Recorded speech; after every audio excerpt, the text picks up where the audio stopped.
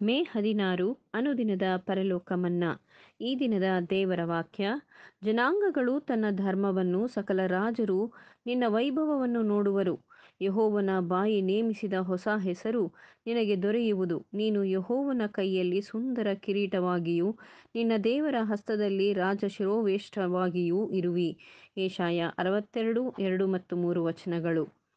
ಲೋಕದವರಿಂದಲೂ ಮತ್ತು ಹೆಸರಿನ ಕ್ರೈಸ್ತ ಸಮುದಾಯದವರಿಂದಲೂ ನಾವು ಪ್ರತ್ಯೇಕ ವಿಶೇಷ ಜನರಾಗಿದ್ದೇವೆಂಬುದನ್ನು ಮರೆಯಬಾರದು.